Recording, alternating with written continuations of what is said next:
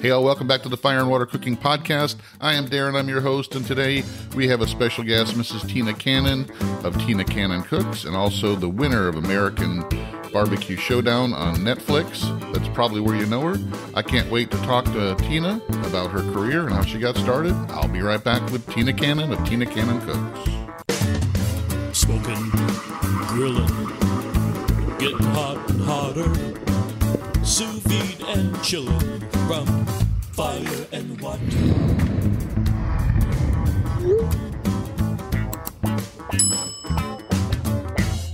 Hey, all, I want to introduce you to a company I just started working with, FreshJax Organic Spices out of Jacksonville, Florida. They're a small, family run company that's fast growing. I've tried a bunch of their different seasoning blends and spices, and I can tell you they're all fresh, all organic. None of them contain artificial flavors or sweeteners. None of them have anti caking agents or preservatives. They all taste like they were just made for you yesterday. Check them out, guys. They're on Amazon in the link below. They have different sample packs, different blends. Like I said, they also have the individual seasonings and spices as well. FreshJax Organic Spices. Check them out, guys. I love them. Welcome back to the Fire and Water Cooking Podcast. I am Darrin, I'm your host, and today I've got a great guest. I've been wanting to get on for a little while now. You all have probably seen her if you've watched the Netflix show, the uh, American Barbecue Showdown. She is the winner. She is Ms. Tina Cannon, Chef Tina Cannon, because you are actually a chef. And Yes. uh, she is here to join me today, and we're going to talk about all things that she is doing. Hello, Tina. Just tell us where you're from, who you are, and all that, and we'll get going. Well, Tina Cannon, I'm from Newnan, Georgia, originally Gadsden, Alabama, but I live in Newnan, Georgia, and I'm a chef for Meals on Wheels of Coweta, a large charity. Now, you started that. Did you start that after you won the show, or is that something you you've been doing for a while? Where the where you've been the chef for the Meals on Wheels? Yeah, I've, I've been there a while, but actually, I started by donating to them uh, all of my meat from barbecue contests. That's how I met them.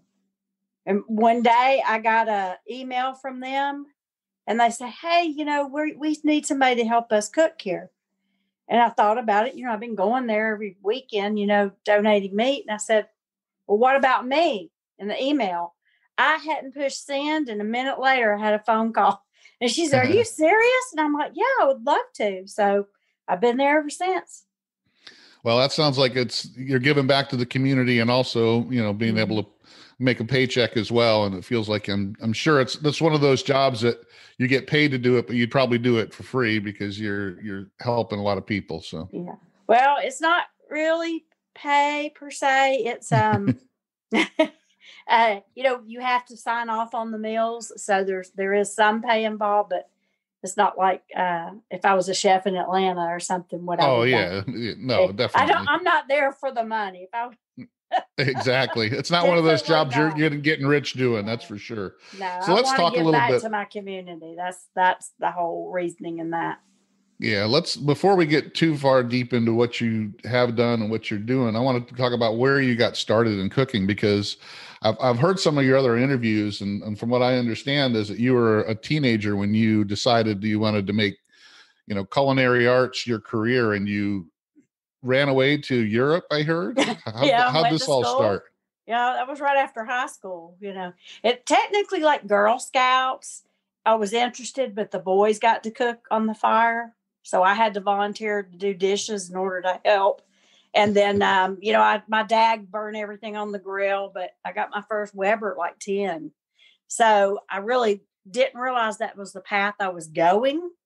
I just Mhm. knew I liked to do it, and I loved home ec class. And my mom will argue I never cooked, but about five things at home. But I, I had a teacher that would let me do whatever in the class. And it was kind of cool to be able to just cook in a big kitchen. You know, we had a commercial kitchen in high school. So that's what sparked my interest. That I would have to say my home ec teacher and um, I had a, uh, her name was a counselor that encouraged me in the high school because I I loved it and I never shared that with my parents. They they didn't know I liked to cook really, you know. But I used to cook with them in the kitchen. Uh, and my grandfather, he loved to cook. He raised five kids, country cooking, you know. I used to Mhm. love to watch him in the kitchen. So I think all of that conglomerated and I just decided to do it. And when I got there, it was, you know, a rude awakening, a little girl, 18, that had never spent the night away from home other than her cousin's house or the girl across the street. You know, I, you know, I was kind of very sheltered. So it was, you know, the early 80s when I went and the punk rock scene was big and the hostage crisis, you know, during the Reagan era, the 444 days. It was a, a frightening time. I didn't realize it, of course, until I got to Mhm. Europe, but there was a lot going on. Now, did uh, you study I in France or where, where did you Yes. study? Mhm, in uh, I was in uh, a school called La Varenne, which has been since ate up by Cordon Bleu. Okay. Uh, I think uh, they were ate up back in the probably the 80s or not. No, the 90, 94, I think, is when Cordon Bleu kind of bought them out. Kind of an old school culinary school. Uh, culinary school here in the U.S. is a little bit different, especially now. It was almost militant uh, with inspections and things like that. So really Uniform different. inspections and everything. Yes, and your hands and your nails. yeah, all of that. Yeah. Now, did you speak the you know, you're language or did, did you have a learning? No, you could learn. You could teach. They taught classes in other languages. Um, Okay. I'm really good with accents because, you know, you had French teachers that spoke English, or you had, uh, you know, German, a lot of German and Austrian teachers, you know, but they spoke English. But you had to kind of change your schedule, you know, based on because you only spoke one language. You know, European uh, students often spoke two and three languages at least. So I was at a drawback in that. But I also went to culinary school in the U.S. Now, how long were you in France before you came home and, and Three studied? years, three Wow. years, and then I went again in the U.S. and that was also a three three year program. Now, when you were over there for three years, did you actually actually work too, or was it strictly Oh, yeah. going to school? Yeah. Uh, no, I did both. Like when they, they have a, a difference back then, school was a quarter system. Uh, and you would have breaks in between and they would help you with getting jobs. So You you know, work in different rest- restaurants and all. Yeah, oh, okay. yeah. Oh, yeah. And uh, had some rough ones, that's for sure. But different types, you know, in different countries. You know, if it was a, you know, a two week versus, you know, a month off or whatever. So I got to experience work in a lot of different countries and different cuisines. Now, did it change your mind about being wanting to cook, or did it actually make you more passionate about it? Because I know a lot of people it, it can go either way. You know, once Mhm. they realize what it is to work in the restaurant business, you know, it could turn them off, or you know, it can make them more passionate. I think it gave me more drive because it was so rare for women at the time. Food Network wasn't around, any of that. I think it was gave me more drive and determination to continue. And that's why I, you know, I got told no when I got back to the U.S. They didn't hire women, you know, or they wanted you to be a pantry chef, you know, make salads, you know, Right. or are you a baker? You know, no, you know. Um, so I went ahead and got an American degree, culinary degree, so they couldn't tell me no. And of course, I was an honor graduate there too. Um, it made me just more determined and almost like angry that, that I could I couldn't get hired. I mean, I, Yeah. I, work, I think you've heard on other interviews I had to work for free. I mean, yeah. it it took a, it took a while.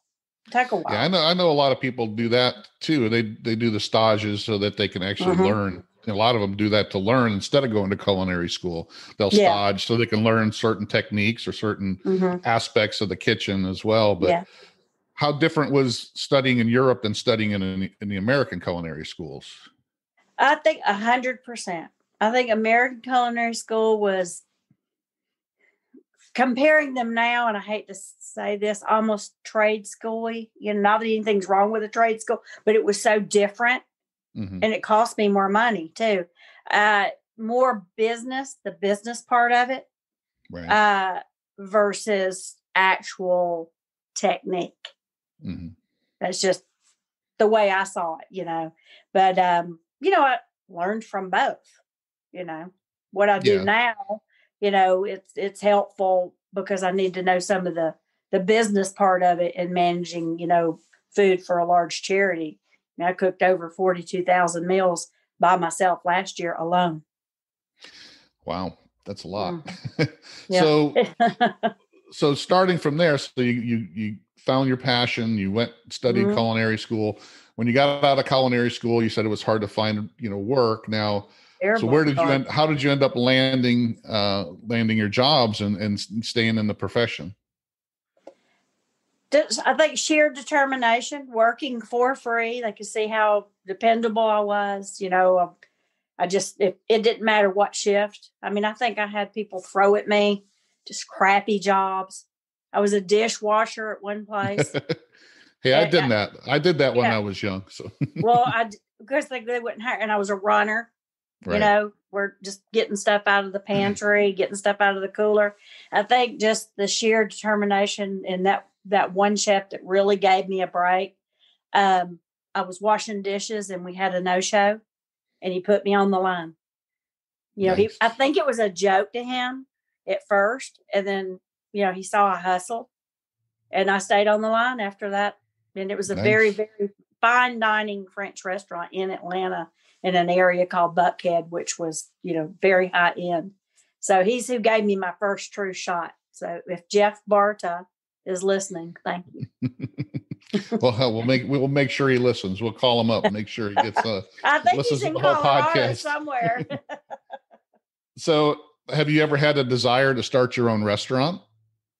I did that. Been there, done that. I Okay. have a business partner in uh, Tampa Bay, matter of fact, because you know, you're not far from me. Yeah, in Carrollwood, and I had a place there for a, a while. I think I was ahead of my time. It What was the name Quick- of the restaurant? it was called Quick Cook, but it was um, a concept that's very popular now because everybody has food delivered. You know, the meal prep kits. Uh huh. Okay, but this was a long time ago. Before that was, you know, you could deliver overnight and, you know, Amazon, eh, before all of that. And it was a pickup carry out type business of meal kits.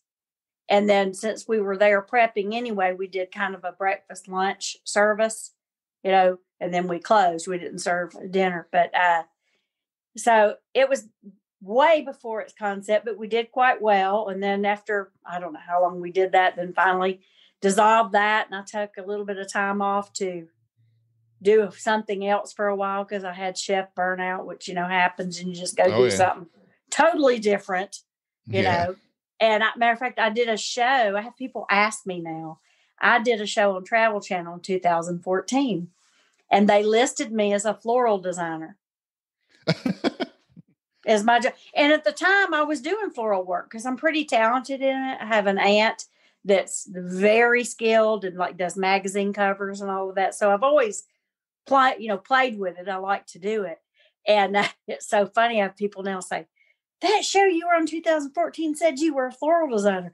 That was during that period of time where I was burnt out and decided to do something to- totally different. I was doing work with the with the PGA and some other large organizations like that, the Ritz Carlton Hotel. So I mean, I exceeded in that immediately. That's the type of person I am. Whatever I do, I do the best that I can. You throw yourself into it. That's kind of like what I do. I when I start something, even if it's a hobby like what I'm doing Mhm. now, I just Mhm. throw myself into it. I learn. People ask me, you know, well, how'd you start doing this? How'd you put this together? And it's like I just threw myself into it and I learned just it. did it. Yeah. Yeah, Mhm. just did it. I mean, that's ninety nine percent of anything you want to do. You just start doing it, and you Yeah. you learn, and you make mistakes, and you learn from those mistakes, and then you go forward. So That's, That's why this like interview like this is hard when you ask like questions. It's like some questions I'm like, well, I just did it. You know, it's not really an answer. no, you I, and it is that is an answer because Yeah. you know I have people all the time ask me, you know, how did you start, you know, the podcast? How did you start your YouTube channel? How did you just do it? You know, you just got to say, you know, I, I can learn something new. Don't be scared to learn something new, or ask people for help, or ask people to, you know, that that do it or have done it before you, how they've done it. I mean, that that's one of the things I found when I first started doing things like this is that there's a lot of people out there that will help you and Mhm. you know, the, the ones that are really successful, they're not competitors of yours. They, Yeah. they want to help. They'll teach people all the Mhm. time. That sounds like what you you like to do because Yes. I've seen. I, I I went through YouTube and I saw a lot of your old stuff. I mean, some some of your you know really old stuff. There's some really old videos with, with you doing some other things with the the Bama cooks and all that kind of stuff. So, Yeah. And, Yeah. um, And I, you know. I like to teach at the local culinary school, you know, too. I like to to give back, not only giving back to my community, but to show them how to do things. You know, they're all wide eyed like I was at one time, and it's it's so encouraging to see them want to learn. You know, I'm terrible, as you know, with technology. Um, so I, I need to trade out some of those students to teach me technology if I teach them to cook or do certain processes. Now, speaking of technology, there's been a lot on both the indoor and outdoor cooking um, areas in the last few years. A lot of technology being pushed into those, even for the home Mhm. users, with the Oh, yeah. pellet grills and the Wi-Fi and Bluetooth and all the different types of cookers. You know, the sous vide. You know, the Yeah. you know, Anova's got the uh, home-based combi steam oven that they're marketing. So how has that affected the way you cook? Have you changed it at all? I know I did see a video you using sous vide uh, a couple days ago, and one of your yeah, I was yeah, duck. You know, that's something that it's been around a lot longer than people realize. I think they say it was founded in the 70 early 70 or 71. But technically, if you look at like when Bird's Eye and the vegetable company started doing frozen products or canning ready to eat food, the process was the same. You know, Yeah. of cook, yeah, under pressure, you know, and liquid. So it's been around a while, but as far as like chefs or the way we do it, it was probably in the 70s. And now that was just commercial back then. Right. And now, I mean, you can go and buy one. I, well, I don't know if the big box Walmart store sells it, but I mean, you oh, can oh yeah, get they do. do they? You, you Okay. could get them at Walgreens actually and oh, Aldi. Oh, So, really?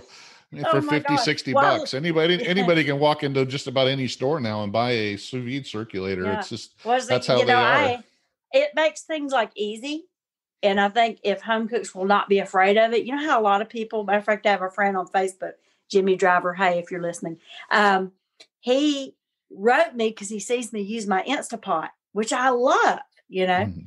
So he went and got him an Instapot. So now he's asking me about sous vide.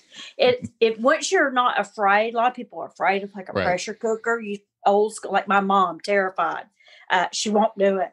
But once you try it, it Yeah. makes it so easy if you're not a really good, especially a meat cook.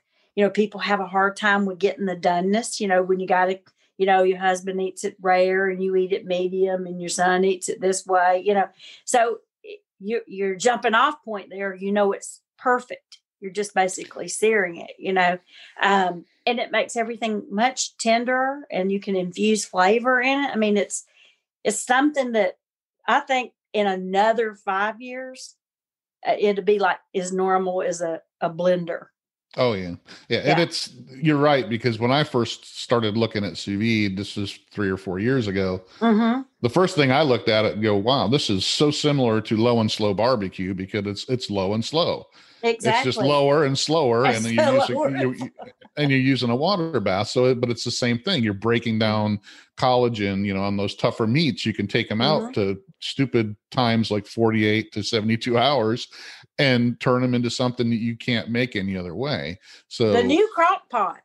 yeah, it's just well, uh, but it it's so much. You know, I love people who they, they get excited about one part of it, but then they start expanding into different things like you know Yeah. infusions and things like that, that that it can do i'm part of the international sous vide association and that's one of the things i love is teaching people how you, you can get excited about one part of it that gets you going and then there's so much more that they can do. It'll open up a door. It's just like anything. It's just Mhm. like cooking. You know you can get oh I, make a great hamburger but now i want to make a great you know uh you know grilled cheese sandwich. And you just Mhm. expand on that. Now you want to learn how to make something. You want to make chicken. Now, how do i make chicken i mean it's just uh, things start rolling and and you can see how the the doors kind of open up for you.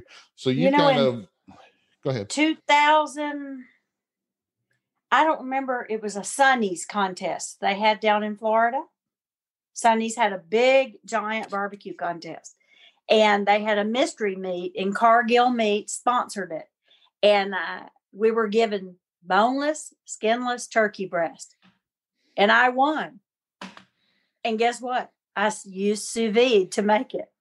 Really? Yeah. And that was, yeah, I don't know, 2016 probably. I'd have to Google it to see when I want it. But in that amount, you know, it was kind of not as common, you know, there. And I actually used a um, sous vide that another team from Florida, I'll, I'll think of his name while we talk, loaned it to me. And I used it there on site and won. That's funny. Mhm. That's great. So let me let me talk to you about that now. You're talking about cooking competitions. So you started Mhm. out culinary school, you worked in the restaurants. What got you involved in cooking and in competitions? Barbecue competition, watching pit masters on TV. Yeah, it got Yeah. you excited. yeah, it was like, oh my gosh, because you know I had, had got a smoker, a Brinkmann, matter of fact, from points on a credit card, and um, I cooked for a bunch of people at my house, and I everybody every podcast has heard this story, and the guy that showed up, there was a crew working at my house. I'll shorten it some, and he showed up to get his money, and I was feeding the crew, and he wanted. Now, of course, you know I'm a Southerner. Sit on down, you know, and eat with us. And he looked at my husband and told him what good barbecue it was. Well, I had cooked it. So it, it, you know, we talked. He told my husband a couple more times as he got another plate, and he went to his truck and brought an application. Filled out the application for a contest in Lake Martin, Alabama, and I went and won nice. right out Now- the gate. Now, how different was that from what you had experienced before? Because you know, you had a you had a benefit, I think, because you had all the culinary training and know how to know how to put flavors and stuff together. So, Well, how different part, was it? yeah, yeah. How, now, how But- different was it in the competition? Because you're cooking for judges, and it's Yeah, I know it's totally different than cooking for your different. home yeah. and totally. restaurant. And what I and what I cook for barbecue, like here, like if you were coming over to hang out at the pool or whatever, is so much simpler Yeah. than for a contest. You know, because they inject contest phosphates, this, that, MSG. It, matter of fact, we did a practice cook this weekend of all four meats, and my husband and I looked at each other, and I thought, Mm, because we we haven't competed, you know, because of COVID in a year, and Yeah. we hated everything.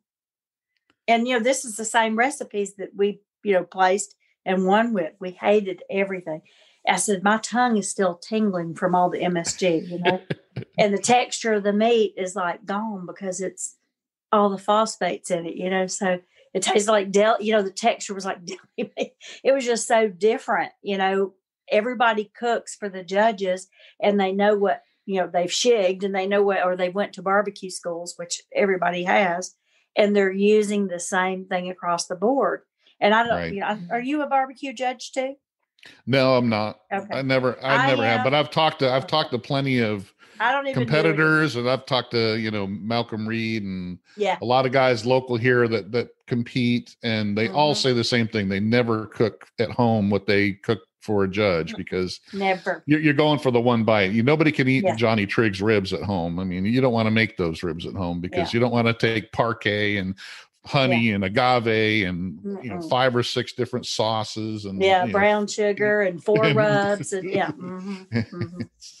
And So, you know yeah. that's just foolish. And I was telling him, look at all this stuff on the counter because I just built a filming kitchen to do my videos in. Out not in the main house. The stuff is just everywhere. I'm like, all of this, this whole stack here is just ribs. Why?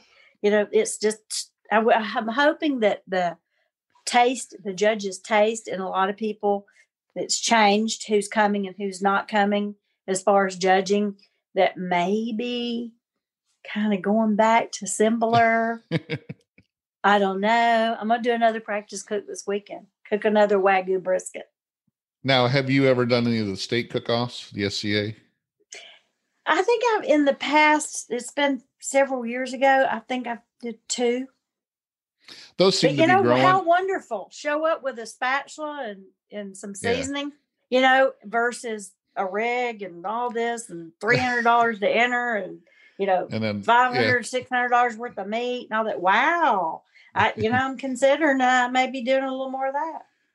Well, and I've talked to a lot of competitors like Malcolm Reed and stuff, and they love them Mhm. because they say they're more like what barbecue com- competitions used to be like. Used to be. I Yeah. remember just since I started in the end of 2009, first part of 2010, how the competition started. And I don't know if they changed or I changed. I, I'm not sure, you know, because I never saw it to be clicky and now it is. Um, I see myself following suit with the seasonings and all the stuff, you know. So I don't know if I've just kind of changed or No, it I, changed. I- I, don't I know. think it's just you know it's a natural progression because now I see the SCA events starting to go the same way of you got to have the grill marks, you got to have it round, and it's like I look at some of the stuff that they put out, and it's like I would never if I go to a steakhouse and I order it, I would and that came to my I would throw it out and say that's not what I ordered because a ribeye is not supposed to be round. It's not supposed to be you know, and it's not, you know, I don't care if it's got perfect grill marks. I want it to taste good. And it it Yeah. seems like they do a lot more for appearance and because I guess there's only a certain amount of thing you can do. If it's a steak, it's a steak. You got to cook Mhm. it perfect, make sure you know it's seasoned right, and it's got to look good. So they put a big emphasis more on appearance than they they would anything else. But I think it's just like anything; it gets a natural progression, and it gets more and more. And, and you got to try to do something different. But when you got limited things you can do, they all start to look the same, you know. and then what do you do? Little Everything round hockey pucks with they all- diamonds. they all look the same and they all taste the same. You just kind of close your eyes and go eeny, meeny, miny, mo at the end if you're a Mhm. judge. So I still think I might. I might just because of lack of barbecue contests. I might get out there and do a few. Why not? Yeah. I Now- miss. I miss seeing people. yeah. And now is that your main main reason for doing the competitions is to, you know, the more community function of it or or is it to win? Or I mean, because it's not cooking good barbecue, you kind of admitted Yeah. that. Yeah. um, it's I, I I like to compete. I'm a competitive person by nature, so I mean I do miss like at this point since we haven't been to a contest in so long. Um, I I miss people, of course, but no, it's the competition. You know, it kind of gets your bubbling. You know, your blood Yeah. bubbling and stuff. You know, especially if you get a call or you know get a great call in a category or something, you know, it really gives you, it energizes you to Yeah. want to go do another one and do better next time. Now, have you done any other type of competitions? Like maybe, you know, I know you did like a world food uh, Mhm. challenge. Did- Uh, I did FBA, GBA, ABA, KCBS, IBCA. so you've so- done a, done a bunch. Done- So that yeah, means you spent a lot of money. different. Yeah, yeah, yeah. Big truck, big rig, yeah, big smoker. Now, all is that your stuff. Is that what you're most passionate about now? Is barbecue, or are you still passionate about all types of cooking? all types of cooking. All types. You know, my barbecue is the more competitive competitive. nature. It's the competitive end. The rest I just love to just cook like let's cook Greek food today, you know. so you do have your own. I'm going to share the screen because I want to go over your website here so people can know they can find you online under your website is Tina Oh, Cannon yeah. Cooks, and yeah, um, that's me. and you are doing a subscription or membership type Mhm. um, program on here where you do are you doing like cooking classes and all that? yeah, a lot of every every uh, month we release some more recipes and tips. But there's things if if you, I think somewhere on that site you go at the bottom where it says you know there's other recipes on there. There's some Right, that you know that you don't, and- don't have to subscribe to. Gotcha. Yeah. And the, oh, yeah, also you got all my, oh. I hadn't looked at my site in a while. There's all my affiliates. Now it's moving. It's back. All right. There's my there's my Cody on there. I see it. so you also got um, uh, your Facebook page, so they Yeah. can find you on Facebook, and, Oh yeah. and everything everything is under Tina Cannon Cooks, correct? Yeah, you know, yeah, you know, I'm getting old. It's easy to remember that way. Yeah. Instagram and TikTok, that's on there that way too. Tina Cannon Cooks. And now you started a YouTube channel. Now, how long ago? It looks like five months ago you started that. I, I, you know, I started it actually longer than that, but I really didn't know how to work it, and I'm still learning. I have people write me almost every day and ask me to do videos on certain things, but trying to keep them short or how to Yeah. edit because I don't know how to edit. Uh, you'll learn. I, I- Something I- you I- see on there is unedited. it's it's one take Tina on there. So well, y'all here- don't here's a write me tip. nasty emails. Here's a tip. You're using. Looks like you're using your phone to do most of them. Correct. Yeah. To, so just turn your phone sideways so it'll make it widescreen. Uh So that so that that way they'll see the whole screen. Like you got one on there, the barbecue care package one. You see how that's widescreen, and the other ones are. Ah. So if you turn your phone sideways, it'll make it so it's a widescreen. So Yeah. it's just there's when I first started YouTube, I was just like you. I didn't know how to do anything or edit and putting Mhm. stuff together. But you know, Yeah, I don't know how to peop- edit. people are really nice, and usually they're kind of nasty and mean. They'll tell you stuff in the comments, Oh yeah, like- I get, I like like you need better audio or you need this or you need that. Mhm. you know, they're not very nice. But you, you, you that's one of the things you learn is to uh, like ignore ignore what the people are saying. yeah. but some of it you can take to heart and just say, but yeah, well, it's good know, to know because I noticed some of them are that way. There's my I see my dog. Yeah. yeah. Yeah. So and all these different platforms are um, they're fun to play around with. And one of the things I learned, and I like uh, when I talk to other people, they have the same thing. Is there's different people will go to different platforms, so it's always good to have a little bit on every one of them. You know, just I can see here Mm-hmm. uh, you got a you got a big following on Instagram. You don't have a big following on YouTube, and your Facebook page isn't that big. But what I've noticed in my personal stuff that I do is that there's a lot of people that will be in my Facebook group.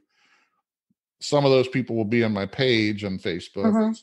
Some Yes, of them may I've be on YouTube. So it's like I'll have like 14,000 people here, 400 here, 300 here. So they're not all going to this all your different platforms. So one of them, some of them just stay where you know, some of them will stay on Instagram and they'll like you on Uh-huh. there, but they won't go to your Facebook page or your YouTube channel.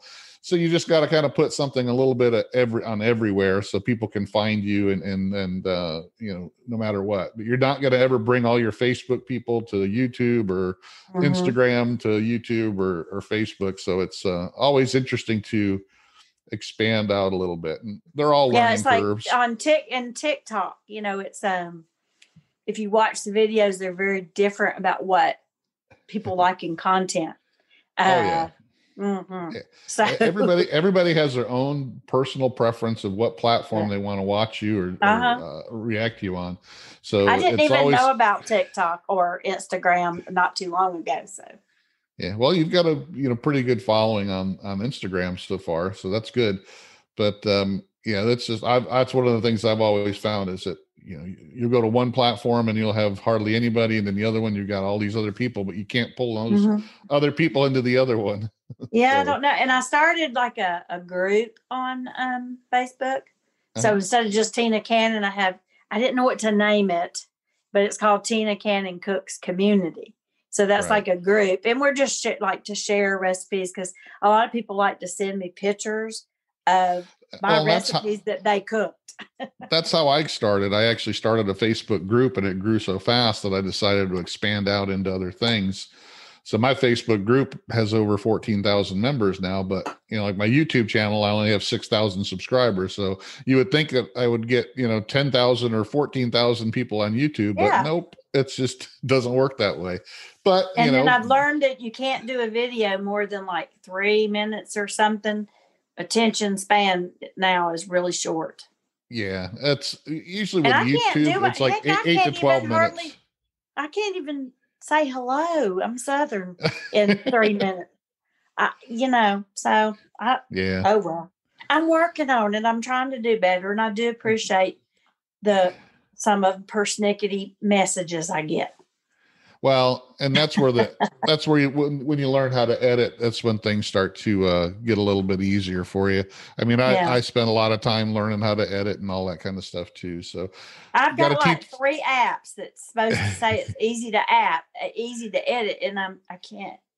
I don't know how to cut things out because I get wordy. It has like a little line where you can like blend them together, but it's like how do I get how do I get this out? Where I went on a tangent about something. You know what? the best the best place to do that is YouTube. Because YouTube's good for learning how to do stuff. I guess I need to get on YouTube and look at some editing. People will show me how to edit. Hey, I want to take a second and talk about Inkbird's brand new instant read thermometer, the IHT1S. This thing has a lot of great high end features at a very affordable price. It is 100% waterproof with an IP67 rating, a 2 to 3 second ultra fast response time, backlit, fully rechargeable, no batteries to replace. This thing has got all the high end features that you would want in an instant read thermometer. Very durable. So check it out, guys. Check out the Inkbird IHT1S instant read thermometer. I think you're going to love it. It'll be your go to instant read from now on. And now back to the Fire and Water Cooking Podcast. All right, so let's get into the big competition that you got into. And this is, uh, I know you've been on TV before because I saw some of your other stuff that you'd been on, you know, some other shows here and there. But the big one Mhm. that everybody knows you for, I'm sure, is the American Barbecue Showdown on Netflix. Yeah. And that one um, probably puts your name out there. So now you're almost a household name because people, I know in the barbecue Facebook groups that I'm in. I mean, everybody was talking about that. Especially, I know a lot of people in Georgia because there was so much Georgia representation. Oh yeah, that's cause in Georgia. I hate to tell you that we know how to cook some Q here. so what, I think three, at least three of the competitors were uh, Uh-huh. Yeah. from Georgia. So Yeah.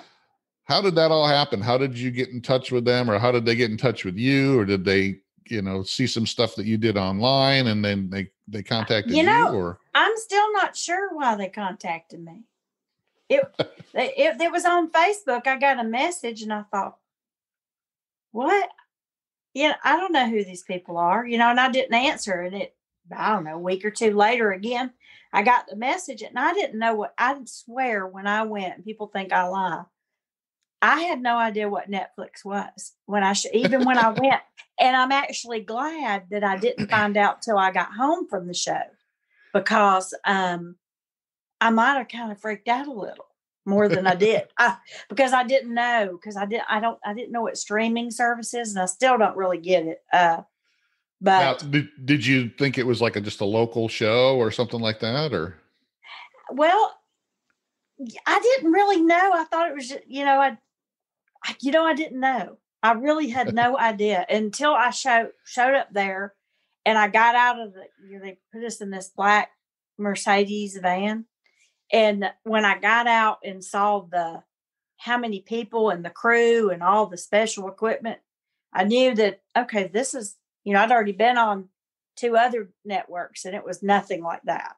I mean, it was something. I mean, really, and the people were so professional, you know, uh, on the crew and everything. I, I knew it was different, but I had no idea because we were not supposed to be really in contact with people and talking about it.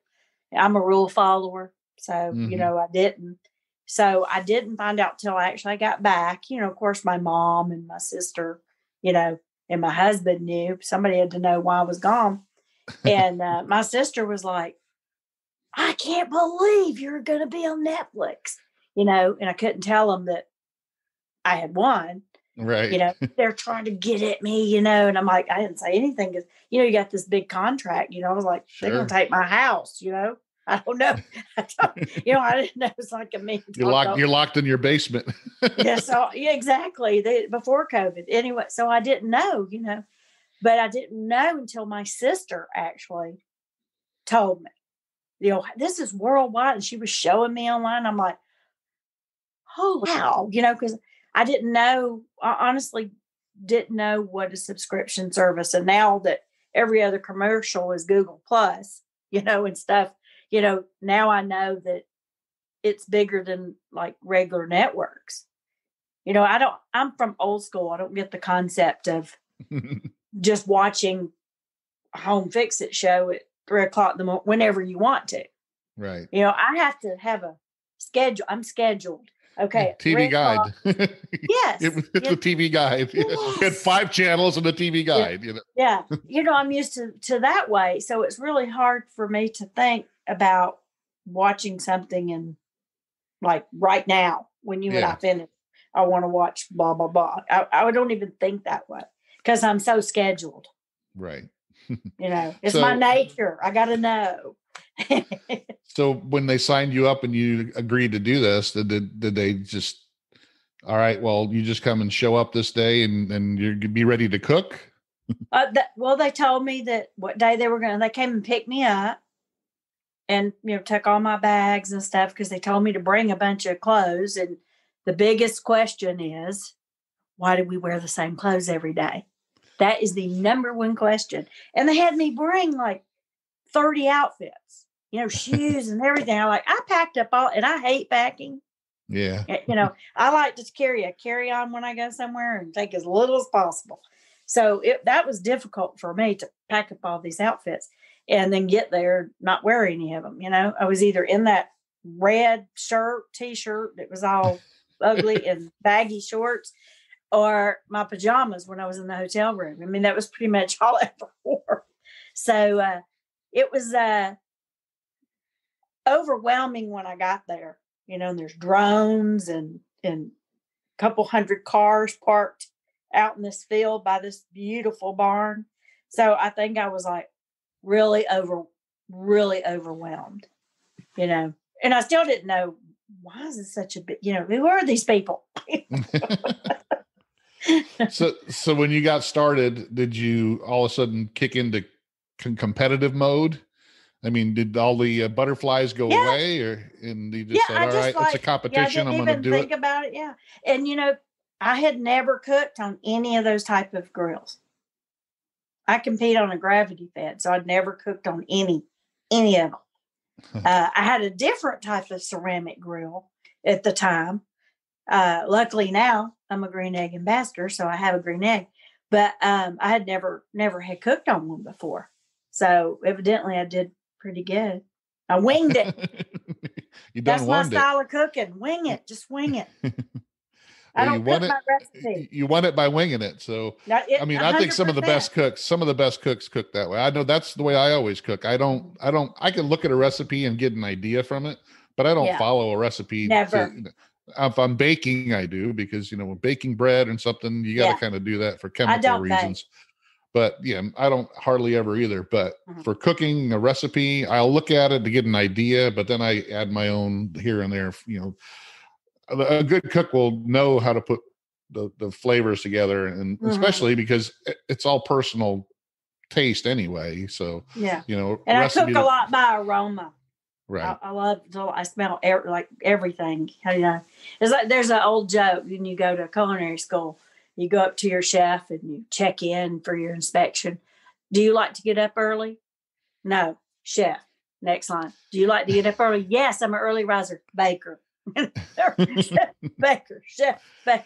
You know, and uh, you know, I'm, baking is not my thing. I'll eat it if you cook it for me, though. You bake me a cake, I'm gonna eat it. but I ain't That's bake. funny. I'll make a biscuit. You know, I make very basic baking. I can get by. I mean, I do cook for a lot of people. I can get by, but it's it's not my thing because I don't like that measurements and I, I, weighing. Oh, yeah. I don't like that. Got to be too exact with baking. That's for sure. Yeah, I don't like. I like to you can't wing it. You can't wing it. You can't wing it too it much. on. So when you first got started, did you look at it and go, you looked around at whoever else your competitors were and go, I can Mhm. win this thing right away? No, no, not at all. Especially once I saw the equipment, I thought, you know, it was like that guy in that. What have I got myself into? Exactly. You know, Home Alone. It, that was exactly, exactly what went through my mind. Oh my gosh! And I've committed to being here until whenever they tell me I could go home. You know, they didn't tell you like if you won, you stayed, or if you lost, you left. I mean, I didn't know. You know, can't believe I did that because I'm such a structured person. I still can't believe that I said yes to that. you you could be gone a month, okay? You know, was like- but no, I was not prepared at all for any of that. I I literally, I swear, just winged it. I don't think when a couple of people asked me for recipes and I put it on my site, like I put the cobbler, you know, because I know that that was a family recipe. It, I had to really like think or go. what did I use it. there? Yeah. Like, what? What did I? Yeah, exactly. Because I, I just don't cook that way, so it's very difficult to repeat something. Right. I don't think I've cooked the same spaghetti sauce. You know, I did a YouTube video and I had to cook it, and write it down like roughly how much I put in there so I could reproduce it for people because a lot of Yeah. people ask for that. Yeah, I don't know. Yeah, when I first started doing my videos, that's I I don't cook that way. I don't cook by recipes. I don't write stuff down. I just kind of in my brain, I know what works well, and I throw it all together, and I know I taste it and go, well, I need a little bit more of this and that, and Yeah. I just don't write stuff down. And I'll do that. You I'll make it. chili, yeah, and I'll make it totally different next time. You know, Yeah. or Mhm. so yeah. I mean, so when you started, you got through the first couple rounds and all that. Did you Mhm. look around and go, okay, this is the person I got to look out for, or this one's going down Mhm. soon? And did you start in your own mind thinking that way, or were you just concentrating on what you were doing? Gosh, you know, I think I, I was concentrating on what I was doing, but I think in the back of my head, I knew Sylvie for sure because she's very competitive and I know her from competing at World Food against her and we're, you know, talk online and, uh, and Rasheed, I knew for sure because he, you know, I think sometimes when you're on a TV show, they might portray you as more novice than you are. Yeah, Uh, so none of us were novices at all. no, I know new. I know people who knew Rasheed or before, and they said he's Mhm. not a novice. No. Some of the No, stuff that he was like going, oh, I don't know. They go, yeah, he knows because he, he's cooked that several times. So Yeah, like tri tip. I was like, yeah, what? You know, Yeah, uh, when Uh, he said he didn't know what a tri-tip was. The guy, well, he works at like a Atlanta Grill Company. He's done like catering events and stuff for Mhm. them, and they knew that he Mhm. he's cooked tri-tip for us several times. He knows what he's Yeah. talking about. but So, his flavors, I mean, you know, were fantastic and spot on. They really were. I loved his style of cooking and his uh, persona on on the show. yeah, Uh, but uh, yeah, he, and he oh, definitely did a good job. So I mean, Yeah. so his jerk sauce, oh, delicious. Loved it. cooks like it. him and you seem to do the best in these type of shows because you're used to winging it and and throwing stuff together hmm out of out of whatever you have available in front of you you know Mhm. the people that do better on like chopped and stuff like that are the people that can think outside the box you know hmm and i think mhm. that's why you and him ended up in the final round is because you were both that way you know you're not Well, thank You- you. you- you're just you know you, you you work with what's in front of you and you've done it before you've done it for so many years that Mhm. you you already know what works well together and you can put stuff together with whatever you got Yeah, we had a nice pantry. Um, it did change. It wasn't always the same. So if you thought you were going to have brie cheese today, you know, and you had it tomorrow, mm-mm. and you better not mention it because you're mic'd up and all your producers, you know, your handlers and stuff. I really, I don't know for a fact, but it was kind of interesting if I mentioned, oh, if I get to cook this or something, suddenly it they wouldn't take be it away there. Just do saying. purpose. Just I don't know, just saying. So, you know, it just maybe it was just a coincidence. so when did you feel um during the competition that it was going to be you and Rasheed, or did you think it was, was going to be you and him at the end? When did you know? Like just the when when you last won, or I mean, were you shocked at all any of these, any of the rounds that you won? Um, I was shocked every time. I, people ask me, was that like a? I was shocked every time. I mean, I knew my stuff was good, but you know, I I knew his stuff was good, and I know Miss Sylvie's stuff is good. I really thought that that us three, honestly, just because we tasted each other's food, and I know there's, you know, I could just tell they really, out of everybody, in my opinion, knew what they're doing out of everybody. I think Grubbs, I loved him, his personality, loved him, and we still are in contact. Um, you know, I think they were tough on him. Um, but his, I thought his sausages like were good, but like some of his sides, he lacked a little bit. And I think they were looking for the full circle on everything. You know, I don't think you could bomb on one thing and then one thing be good. You know, we had to cook multiple dishes every time. Now, let me ask you this question, and I'm I'm sure it doesn't get asked often, but because sometimes as a somebody who watches shows like this you go how much does personality play into what the judges think even with melissa uh, you can tell sometimes if somebody didn't say the right thing that she wanted them to say about something she would get a Mhm. little ticked off. You could tell that she's i didn't like that you know but she'd ask somebody a question about you know what are you going to do with this? and they'd answer and she'd walk turn around and she'd make a you know nasty face or go "Oh, i don't like that. So how much do you think personality or um you know that played into their decision You know, when I watched other shows like this, I thought that that was a factor. But being there and knowing that the three people that I thought was the best cooks made it to the finals, it kind of made me dissipate thinking that because uh, Rasheed definitely and Sylvie definitely deserved to be there. I think. Um, out of, out of the three of us. So I, I used to think that though. I mean, maybe some shows are written that way. I didn't well and it feel that while whole- I was there living it. I didn't. it might be part of the was that. drama that they try to inject into it because i know Yeah, just from watching melissa mostly is you know because she's a she's one of the best you know she's yeah, been a competitor she's been a judge she's you know she was Mm-hmm. part of the you know barbecue community for many many years so right. And it just made out some of the competitors she would just you know shake her head walking away from and you're like oh man she's already Yeah. made up her mind before she got the food in Yeah. front of her kind of thing Yeah, I think I think she's just a no nonsense person, and honestly, you know that that could have been editing. You know, they got to make it interesting because there Right. was a a lot. There was one challenge that was totally cut out.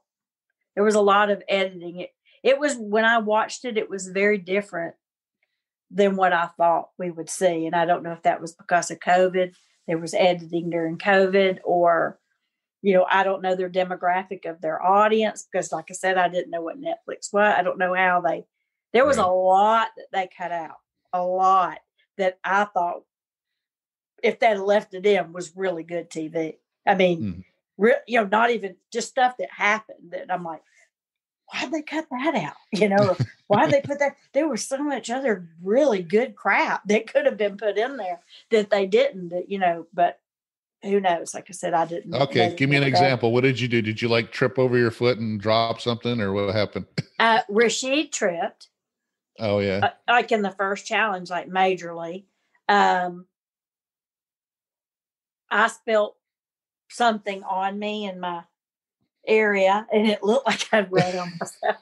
uh, you know, just just cra You know, other you know, uh, yeah just silly stuff because you know the monotony of it, things that Yeah, I happen. mean, they you're- you're- all that out. you're you're doing a lot you're excited you're you know Mhm. all things going through your mind and, yeah, they and made me like unfamiliar really with all this stuff and yeah I, I Yeah. i can tell there's there should be things going on Oh, you know people falling over each other and dropping stuff all day Yeah. long Yeah, running, crazy. fires going out. You know, yeah everybody had problems with one of the particular smokers. I won't get into which one. Um, you know, and then we didn't use it again, which I thought odd. You know, we ran out of wood. Like, God loved Rasheed, but he burnt so much wood in the barrel. You know, when we were, he went through so much wood because he had a ring there and he just kept fire burning because he made his own coals. And then after it appeared to me that after Georgia saw it, she started doing it. So we went through so much wood, they had to have more wood delivered. And we were in a rural area, you know. Yeah. Uh it, so and we like we're running out of charcoal. So I think we went through a lot more stuff than they realized. and it might have been, you know, because some of us didn't have, at least me, knowledge of one of the particular type of smokers, you know, the Lang, which I loved. I wish I had one now. Uh, you know, I just kept charcoal burning because I thought, I, you know, I didn't want it to go out on me, you know, because I saw it went out on Georgia. I thought, heck, I don't want that to happen to me. I, I had my, I, you know, I wasn't necessarily shigging what people were like cooking with because I kind of had a plan when they told us what to do, but I was kind of watching and learning. And I learned, I can say, from everyone there something I brought home with me, you know, which is kind of cool, you know, knowledge, knowledge of cooking, making me a better cook or a better barbecue cook. Awesome. So, what's next for Tina Cannon Cooks? Are you going to uh, write a book? Are you going to continue continue doing what you're doing with your website and YouTube, expand that out and Yeah. keep working. I, well, you know, uh, I'm looking at my website, like um, the guy that that kind of built the site for me. I, I guess a lot of people don't buy cookbooks a lot anymore. So having it on the site, uh, a subscription service, to me kind of reminds me of like a digital cookbook. So I'm Mhm. just putting recipes on there. They should be loading some more on the free part, you know, where you don't have to subscribe uh, shortly. And we just filmed 18 vi- new videos. They're going to release, you know, a, a few soon, like three or four soon, and then they'll do three or four more. And we're scheduling them to come back and film again in late April, and we'll film a bunch more. So I think I'm just going to continue with that. Lordy mercy, it keeps me busy. Um, I have interviewed for another show and made final round, but I don't know yet what's happened on that. Uh, can't say which one, what network, anything, but I have Yeah. interviewed and I know I made final round. That's all I know. So I'm hoping to find out soon. If I do get chosen, I'll be gone for a couple weeks. Y'all probably noticed from my social media, huh? She got it, you know, maybe. so we'll see. Hope I don't get in trouble for saying that. now, have you looked at other other people that do similar things to you, like uh, Susie Bulloch and uh, Hey Grill Hey, and some of the others where they have like a subscription service and then Mhm. they have the free content? Um, yeah, I, I've had her on a couple times on my show. I love to watch her. yeah, and she's really good. And She's she, she's precious. and she uh her husband helps her do that and they do a lot of similar stuff where they have a subscription side and then they have a Mhm. free side and then they you know they actually have people helping them doing their youtube and and their Mhm. instagram and that's why i told her a couple times i wish i had you know a couple you know teenagers working for me doing the stuff I know. it would help it out but um you know Now I you wish get I big had enough i guess children. yeah there you Yeah. go then then I would have somebody help. You know, but I kind of I like it because I'm learning something, and and you know I appreciate people write me even like I say the snarky messages because it makes me learn more.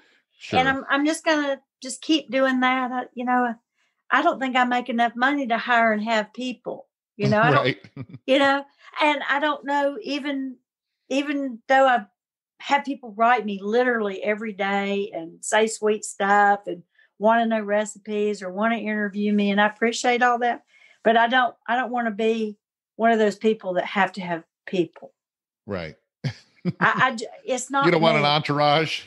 It, you know if you want to come hang out at the pool and let's cook that's fine but no i just don't i don't think that's my personality. You know Yeah. i'm just tina cannon. That's it. I'm a dog cook. mom and i like to cook you know that's that's you know but it, it, it's been like a, fa- a great experience you know. When i sit back and like look gosh i've been on three major tv shows you know i don't i don't it's like i'm looking or thinking about somebody else right I know that sounds silly, but I just never thought of me that way. I just living my life and cooking and doing good for others and, you know, having fun competing in barbecue and, you know, being a good dog mom. Well, that's great. well, I want to thank you for being on. I really appreciate it, and I look forward to following you and watching. You didn't ask me anything hard. Oh, I never, I never asked anything hard. I hard. thought you were going to like dig in there. no, in. no. I just, you know, because some, you know, you never know what some people will think is hard and some don't. I'm Oh, always pretty easy. I just like to, I, I like to dig into where you started and how what how Yeah. your mind works, and I your mind works similar to mine. You like to oh, teach, you like to you like to cook, you like to eat. I mean, you know, that's what else is there, right? Enjoy and I like to share. It's you know what? It's the only. I don't have a lot of talent, but I think I'm a, a, good cook. Um, whether it's higher end or just you know we're making spaghetti sauce at the house, so that's the only thing that I can do. It's the only Yeah. talent I have. So that's what I want to share. Otherwise, you know, I'm just here at my house and that's it. well, you're not doing it to make you know, to be rich either. So you're doing it because you No. It. You enjoy it. love it. You enjoy it. So that's Yeah. that's exactly what I do. I do it because I enjoy it. But I really appreciate you being on. Well, thank uh, you. I hope to have you on again, and we'll talk about maybe some other show that you have been on and, and all that. But hopefully your website and everything grows. And I really appreciate you being on. I appreciate it too. Yes. And, and yeah, if people go to my YouTube, y'all, and you can write me at Tina at tinacannoncooks.com. And if you want to see some videos or something in particular, just send me a message and let me know. I'll do it. And I'll put the links in the description of the podcast Thanks. below. As long so as they it's can, not tuna fish. I hate tuna. well, there's ways you can make tuna taste good. I know you I can. hate it. well, thanks again. I appreciate it. And I'll see you guys on the next Fire and Water Cooking podcast. Well, thanks again for joining us on the Fire and Water Cooking Podcast. I want to thank Mrs. Tina Cannon one more time at Tina Cannon Cooks. Check out the links below. You can find all things Tina Cannon. Make sure you check out the Fire and Water Cooking YouTube channel. The video podcast is also on there. Make sure you check out Fire and Water Cooking on uh, Facebook, Instagram, and make sure you check out the Fire and Water Cookbook on Amazon or on my website at fireandwatercooking.com. See you on the next podcast.